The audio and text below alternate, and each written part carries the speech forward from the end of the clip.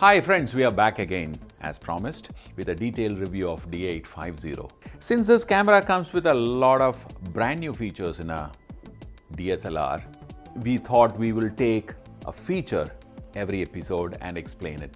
This episode, we thought we'll talk about focus stacking.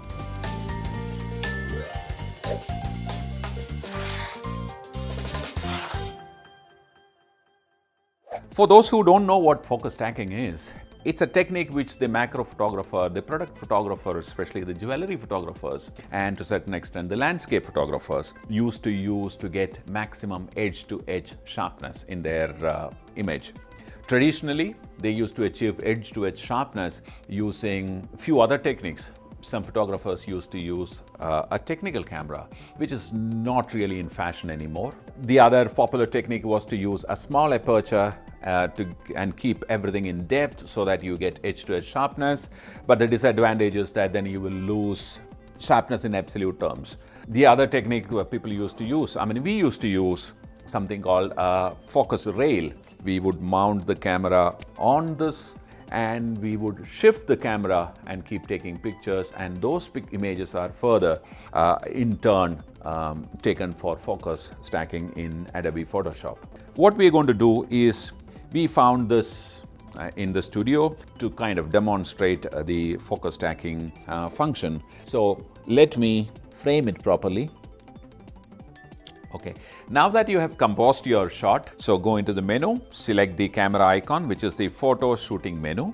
Go into it and you select the sub menu called the focused shift shooting shift right. The first option is number of shots. It basically asks you to decide or select or choose the number of shots through which shots that you want to take from beginning till the end. In this case, I have selected 25 shots. Next option that it gives you is focus step width. It basically is asking you to decide the distance between each shot. Uh, the first shot is here and the next shot, the distance between those shoot shots you need to dial in. It, it again is from 1 to 10, 1 being the smallest and 10 being the widest. I have selected 3. Uh, the next option is interval until next shot. It basically means the time delay between each shot. I would encourage everyone to give 7 to 10 seconds because the camera, during that time, the camera stabilizes itself. Here, since we are shooting in controlled conditions, I've kept it as 5 seconds.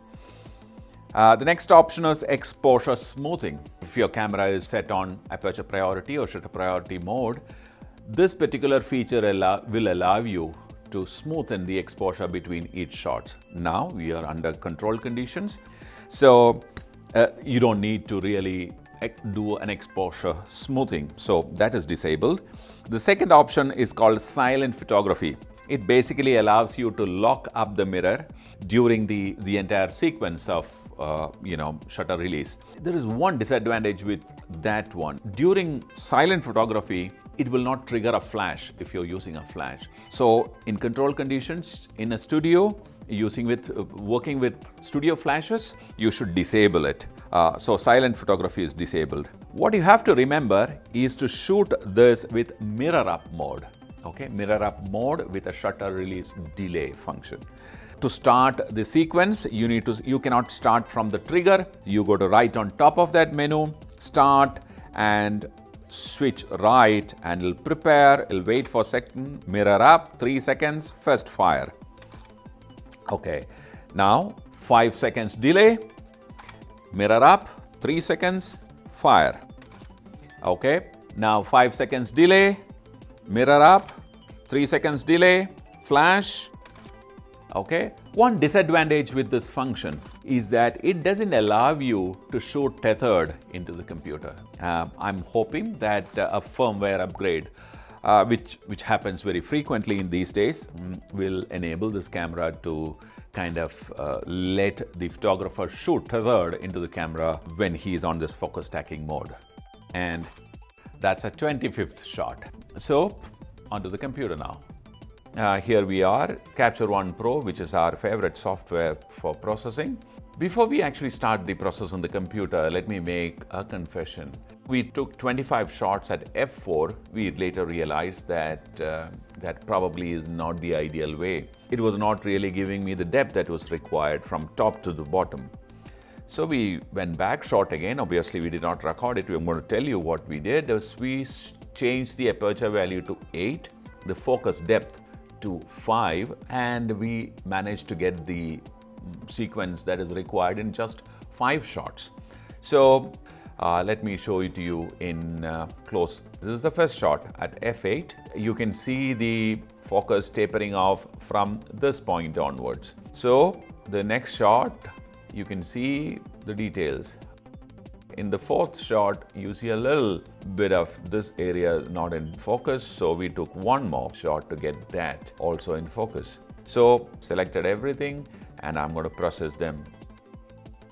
Now that I have processed all the images, the step two is stacking all these images in uh, Adobe Photoshop. So scripts, load the files into a stack. I've selected all and open them. They are right here. Okay. I need to select all the layers together. Go to the edit menu, auto blend the layers and stack images, seamless tones, content aware, fill transparent areas, all that is activated. Okay. Okay, now let me go to the full screen. You have your final finished image in front of you with maximum edge-to-edge sharpness. Uh, it probably is the first time that, like I said, mentioned earlier, uh, this particular feature is now available on a pro grade camera. And I'm certain that all that macro photographers, micro photographers, um, your jewelry photographer, packaging photographer, product photographer, and the landscape photographer is going to immensely benefit from this particular feature. Hope you like it, and if you did, give us a thumbs up, subscribe, share, and if you have any doubts, use the comments column to interact with us. We'll try and answer your questions if you have any, the best possible way that we can. Thank you very much for watching. Bye for now.